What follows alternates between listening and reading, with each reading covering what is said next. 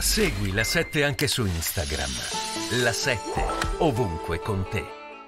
Marchi sono tanti e sarebbe come dire, sbagliato non intervenire, però vedi, prima facevate vedere, facevi vedere nella tua introduzione l'atteggiamento dei sindaci, dei governatori di sinistra, però vedi, quando tu hai quadruplicati, quintuplicati, hai numeri talmente importanti che a Lampedusa invece di avere 400 persone ne hai quasi 2000, quando hai le strutture che sono al collasso e sai che ci sono 100.000 persone che devono partire, ammazza, se non è questa un'emergenza qual è? Allora quell'atteggiamento a me preoccupa perché non è un atteggiamento legato a un dissenso che ci sta, ci mancherebbe altro.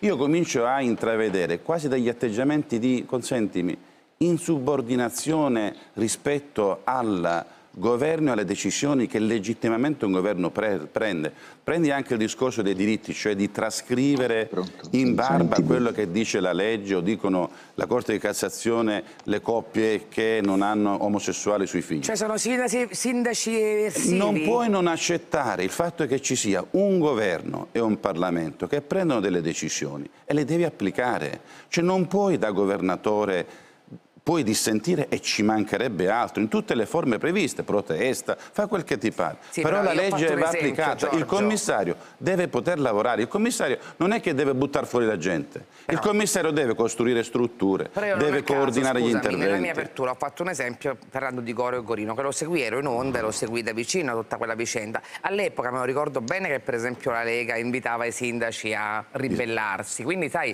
è una cosa che succede a correnti alternate in questo un, paese. C'è un un momento adesso in cui davvero è talmente particolare, di qui a due mesi, noi avremo già, se in una cioè, giornata cioè, sola, una tale invasione 40, che, 40 che contemporaneamente arrivano. Pensa cosa succede quando il mare diventa calmo. Ma io ho una domanda da fare.